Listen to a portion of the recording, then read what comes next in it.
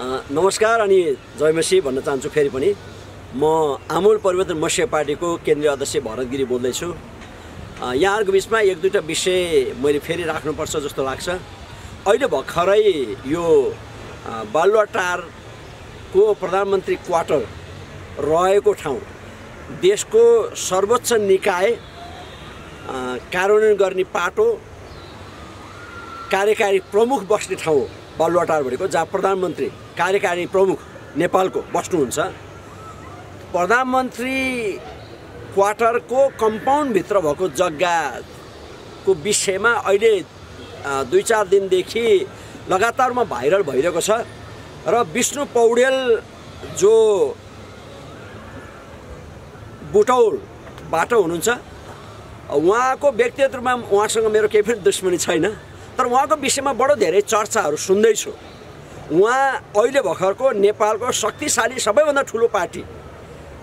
त्यो पार्टीको महासचिव हुनुहुन्छ।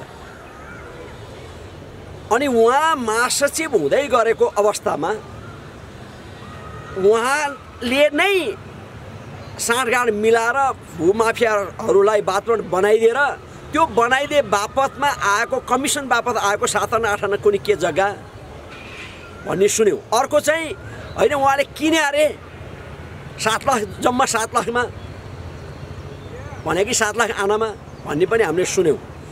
अब बालुवाटारमा सात लाख आनामा उहाँले किन्या कसरी?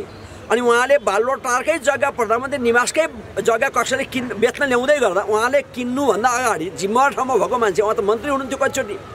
अनि उहाँ अहिले पनि जिम्मेवार पार्टीको ठुलो मान्छे हुनुहुन्छ भने उहाँले त्यो कुरा सहजै कसरी स्वीकार गर्नुभयो? त्यसले दालमा कुस काला है भन्ने जुन हिन्दी उखान छ दालमे कुस भन्ने उखान यो कुरा त उहाँले पार्नु भएको छ छ। अब त्यो शेरबहादुर तामाङ कानुन मन्त्री हुँदै गर्दा नेकपाकै केन्द्रीय सदस्य उहाँले एउटा बोलेको कुरामा काहीँ जिब्रो चिप्लियो अर्थात् उहाँले भन्न खोजेको अझ त्यो पनि गलत थिएन खासमा त। त्यो विषयलाई लिएर उहाँको मन्त्री ख- जान्छ। भने उहाँ चाहिँ कि तामाङ भएर चाहिँ उहाँको मन्त्री पद गएको कि? अनि विष्णु पौडेल चाहिँ बाहुन भएको कारणले गर्दा छेत्री बाहुन भएको कारणले गर्दा उहाँको चाहिँ पद रहिरहेको कि उहाँलाई कारवाही गर्न पर्यो भने एमाले भित्र पनि ठुलो जमात लागेको छ। कि पार्टी नै बन्द भयो यहाँ त। पार्टीकै साख खस्ने भयो। पार्टीकै एउटा महासचिवले अनि त्यो पनि प्रशासनिक ठाउँको प्रधानमन्त्री क्वार्टरको जग्गा किन बेचमा चलखेल गर्छ भूमाफियासँग मिल्छ त्यसबाट कमिसन खान्छ कमिसन बाबत जग्गा लिन्छ किनेको बाहनामा जेसुकै बाहनामा भए पनि कसरी यो कुरा हुन्छ भनेर भन्दै गर्दा भाइरल हुँदै गर्दा अनि साँच्चै जनताको पक्षमा उभिएको यदि यो सरकार हो भने यो यो पार्टी हो भने उहाँले कारवाही गर्ने बेला भयो। यो ढिला गर्नु हुँदैन यदि उहाँले आफ्नो साख जोगाउने भने होइन भने निर्मला पन्त पनि कारवाही नहुने अर्को कोनी के पनि कारवाही नहुने गुन्डाहरू पनि चलखेल गरिरहने अनि यसरी भ्रष्टाचारी भूमाफियाहरू पनि गरिरहने सबै कुरा खाइभरि सबै ठाउँमा भ्रष्टाचार या त भ्रष्टाचार पनि अब त लाख र करोडको हुन छोडे। त्यो त सानो सानो कर्मचारीले बिस तिस हजार पनि कहिले काहीँ पक्रिन्छ यो उसले क- पक्रिनु त। तर यहाँ अरब अरबको भ्रष्टाचार कुरा। अहिले भर एनटिसीको एक दस अरबभन्दा बढीको कुरा छ। एनसिएलको दस अरबभन्दा बढीको कुरा छ। वाइट बडीको साढे चार अरबको कुरा छ।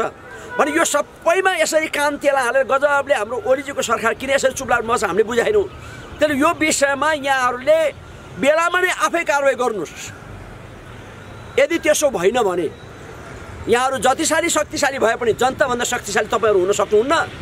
र तपाईँ यसरी लगातार मुठपेलाई गर्दै जानुहुन्छ तपाईँको अस्तित्व नेपालबाट समाप्त हुनसक्छ। नेपालमा इतिहासमा कम्युनिस्ट पार्टी भन्ने पनि थियो एमाले भन्ने पनि थियो भन्ने दिन आउन सक्छ हुन त यहाँलाई यहाँहरूको विषयमा मैले धेरै चासो राख्नुपर्ने त होइन तर पनि यहाँहरूले यो कुरा ख्याल गर्नुपर्ने हुन्छ।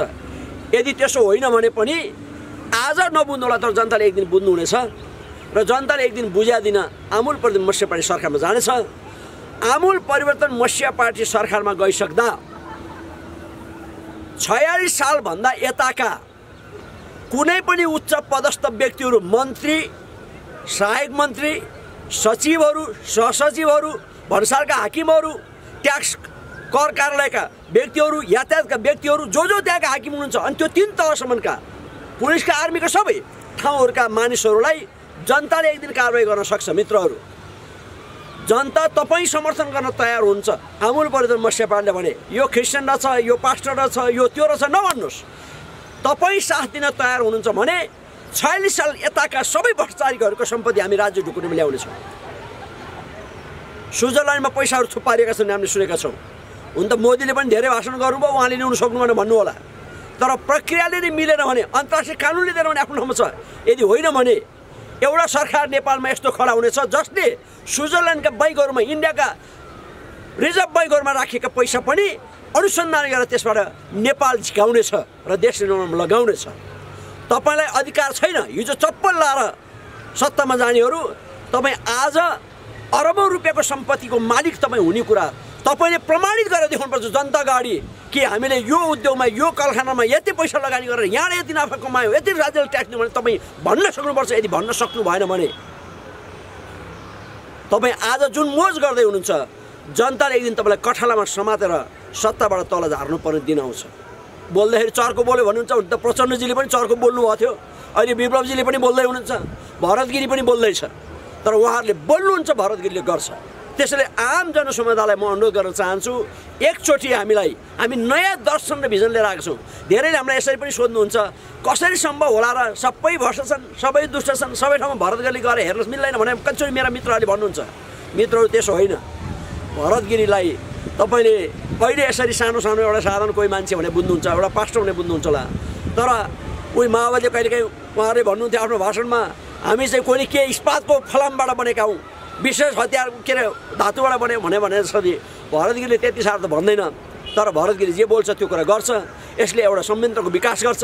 त्यो संयन्त्र कुरा म पछि बताउने छु। तपाईँलाई अहिले बताउनु जरुरत छैन। जुन दिन हामी गरेर देखाउँछौँ त्यो दिन तपाईँले भन्नुहुन्छ वा र मलाई त यस्तो लाग्छ।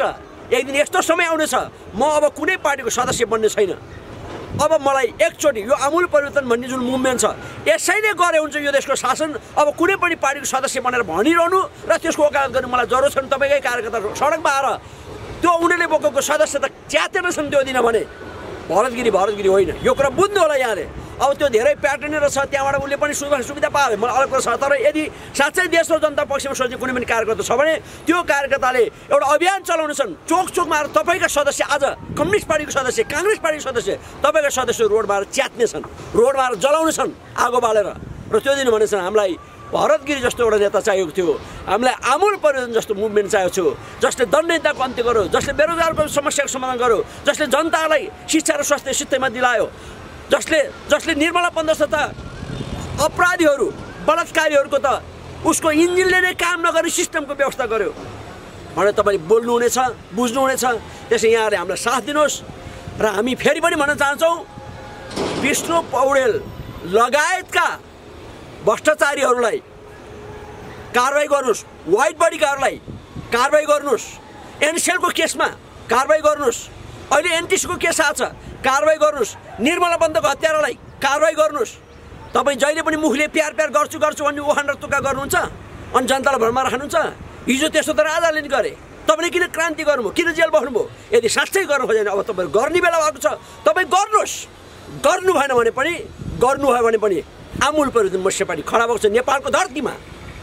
अब आमूल परिवर्तन मत्स्य पार्टी यो सबै कुरा गर्नेवाला छ जहिले जुन कुरा मैले आज भनेको छु। हस् धेरै धन्यवाद छ। हाम्रा कुरा सुन्नुको लागि जनसमुदाय हामीलाई साथ दिनुहोस् हामी तपाईँलाई धोका दिने छैनौँ विश्वास गर्नुहोस् हामीलाई एकचोटि हामी यो देशको काया पलट गर्नेवाला छौँ देशलाई समृद्धि हामी बनाउनेवाला छौँ हस् धन्यवाद छ नमस्कार अनि जय मसी